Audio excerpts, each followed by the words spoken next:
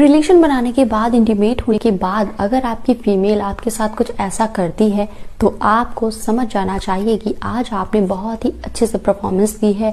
आज आपने उनको बहुत ज़्यादा खुश कर दिया है। उनको इतना ज़्यादा खुश कर दिया है कि उनके अंदर कोई प्यास, कोई इच्छा डिज़ायर बिल्कुल नहीं बची है। मेरे दोस्त, कई बार ऐसा मर्दों के साथ होता है कि वो बहुत अच्छे से प्यार करते हैं अपने पार्टनर को। बहुत अच्छे तरीके से उनको प्यार करते हैं। उसके बावजूद उनको ये सुनने को नहीं मिलता है कि उनकी पार्टनर ये कहे कि आज आपने मुझे बहुत अच्छे से प्यार किया, मुझे खुश कर दिया।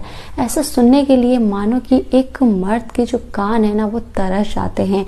पर ऐसा उनकी फीमेल बिल्कुल नहीं बोलती है। उनका पार्टनर बिल्कुल भी ऐसी बात को नहीं कहता है कि आपने मुझे बहुत खुश कर दिया।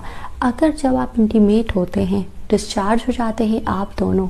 अगर उसके बाद में भी आपकी पार्टनर आपसे चिपकने की कोशिश करें, या आपके ऊपर आकर लेटने की कोशिश करें, या आपके बालों को सहलाएँ, आपके कानों को अपने होंठों से चुम्बन करें, बस इतना काफ़ी है कि आपको समझ जाना चाहिए कि आज आपने उनको बहुत सारा प्यार किया है।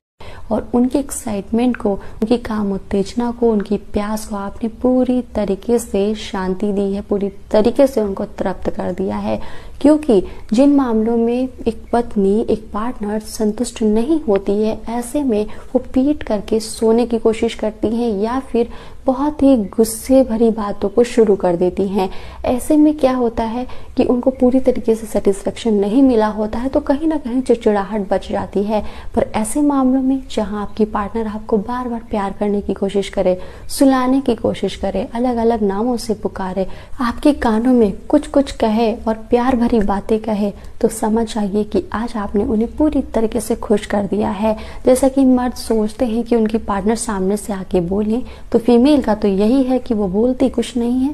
बस आपको उनकी एक्टिविटीज़ से ही समझना पड़ेगा कि आपने बहुत अच्छे से प्यार किया है। तो कैसा लगा वीडियो? कमेंट बॉक्स में ज़रूर बताइएगा। तब तक लिए चैनल को सब्सक्राइब करें और पास में लगे बेल आइकन को भी ऑन करें।